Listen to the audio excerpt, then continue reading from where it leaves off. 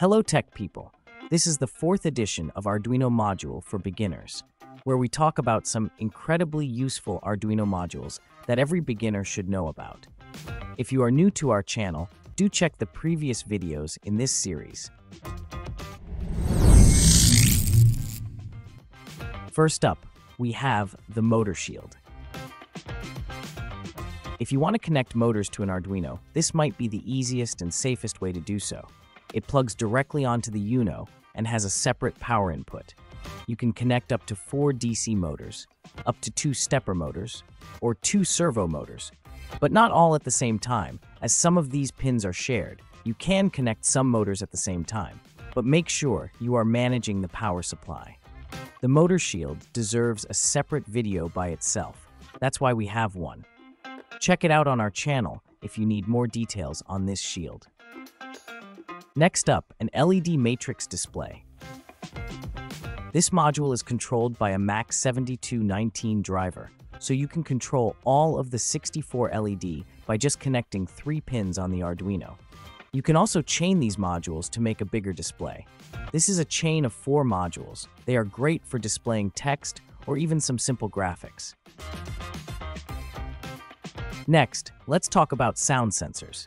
They seem pretty straightforward, but as your projects get more complicated, you will need different types of these.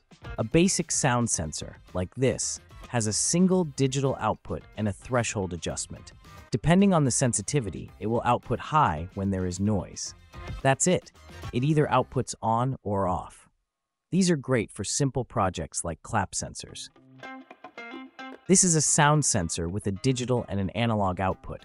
It does what the previous module does and also outputs an analog signal according to the sound sensed. It also has a sensitivity adjustment. Even with this module, the sound output is weak for some projects, like recording audio or a spectrum analyzer. For this, we use a microphone module with an amplifier.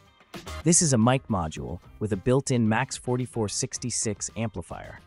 It is very sensitive and picks up sound from farther away than the other modules and can be used in complicated audio projects, like this audio visualizer. Moving on, say hello to the MQ135 gas sensor. This module can detect a range of harmful gases, like ammonia, sulfide, benzene steam, and is also sensitive to smoke and other harmful gases. If you're interested in environmental monitoring or safety projects, this sensor is a must-have. Imagine creating a device to warn you about poor air quality in your home. Now here's something that might spark your interest. The flame sensor. It is used to detect fire or flame or other light sources of the wavelength in the range of 760 nanometers to 1100 nanometer. Due to its black epoxy, the sensor is sensitive to infrared radiation that is radiated from fires. When the sensor detects flame, the signal LED will light up and the DO pin goes low, perfect for fire detection systems and safety projects in homes or workshops. Next is a water depth sensor. It is a simple module that measures water levels using a series of parallel exposed traces.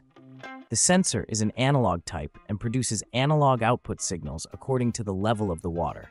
So here we have an LED that changes color according to the water level. Great for projects involving aquariums or even environmental studies.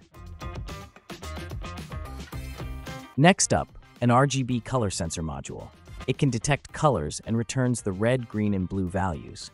This can be used in a variety of projects, for example, you could build a sorting system that automatically separates colored items.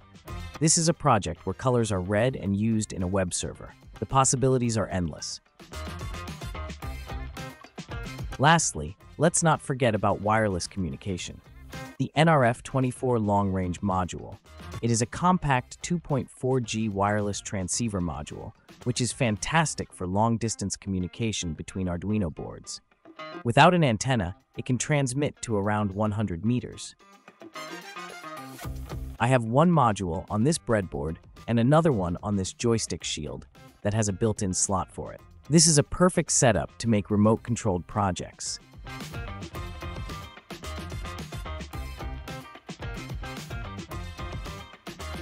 So there you have it.